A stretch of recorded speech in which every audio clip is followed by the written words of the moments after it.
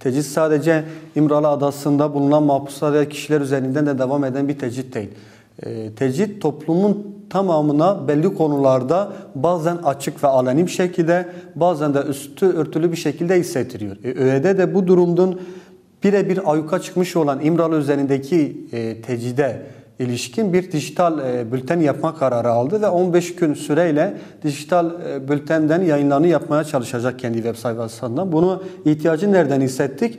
Net bir şekilde hukukçu kimliğimizle hukuksal bir garabet içerisinde olan bu tecrit uygulamasını hem toplumsal anlamda kitlelere ve halka ulaştırabilmek hem de sahip olduğumuz bu e, misyon ve vizyonla birlikte, derneğin sahip olduğu vizyonla birlikte bu durumun ortaya çıkartılması ve bu durumun gündemde kalmasını sağlayabilmek için. Yoksa tecrit o kadar dar bir alana sıkıştırılmış ki hem hukuksal anlamda hem toplumsal anlamda dar kesimin yorumlayabildiği, dar kesimin beyanatta bulunduğu bir alan haline gelmiş. Biz yapmış olduğumuz bu çalışmayla, e, ortaya koymuş olduğumuz bu dijital bülten planlamasıyla e, topluma ve diğer vatandaşlara e, tecrit kısmını nasıl açıklayabiliriz, tecrit kısmının geldiği boyutları nasıl hissettirebiliriz ya da onlara götürebiliriz üzerinden düşündük ve bu ihtiyaç temelinde e, karar almış olduğumuz bu uygulamayı yürürlüğe koyduk yani.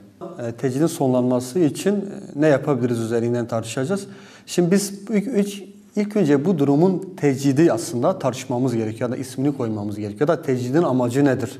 Ya da izolasyonun amacı nedir? Ya da bir kişiye, bir duruma, bir fikre, bir yapıya, bir siyasi harekete e, irade sahibi olarak gösterilmiş ve seçilmiş olan kişilerin tecrit altına alınmasının sebebi ya da amacı nedir? Biz bu durumu ortaya koymuş olduğumuz andan itibaren bunun çözümünün de nasıl olacağını ortaya koyabileceğiz. Şimdi tecridin amacı mevcut olan dediğimiz gibi farklı konumlarda olan, farklı bir şekilde kendini konumlandırmış, sistemin, yapının ve olahana gelmiş olan bu e, sisteme karşısında yer alan kişilerin muhatap olduğu ya da kendilerini hissettirdiği bir alandır. Otomatikmen bu vatandaşların sesini kısmış olmaları durumunda e, tecrit kendiliğinden bir nebze de olsa başarılı olacaktır. Kurumların tecridi her seferinde gündemlerine almaktan ziyade Tecridin birebir muhatabı olan kişilerin, vatandaşların, mahpusların, siyasetçilerin, köylülerin, emekçinin fark etmiyor. Birçok kişinin sahip olduğu fikri örgütleyebilmek, sahip olduğu fikri büyütebilmek gerekir. Biz mevcut olan tecrit altında olan vatandaşların ve kişilerin sahip olduğu anlayış ve e, fikir düzeyinde sahip olduğu o düşünceler itibariyle biz onu hayata geçirirsek mevcut olan o olması gereken e, fikriyatları hayatımızın bir yerinde de küçük de olsa büyük de olsa yerinde hayatımıza yer edinebilirsek bunu bireysel anlamda yer edindiğimizde aynı şey siyasal anlamda yer edindiğimizde toplumsal anlamda var etmeye çalıştığımızda tecrit kendiliğinden zaten amacına da ulaşamayacak. Aynı şekilde tecrit fiziksel anlamda bir kırılma yaşamamış olsa da yaşata,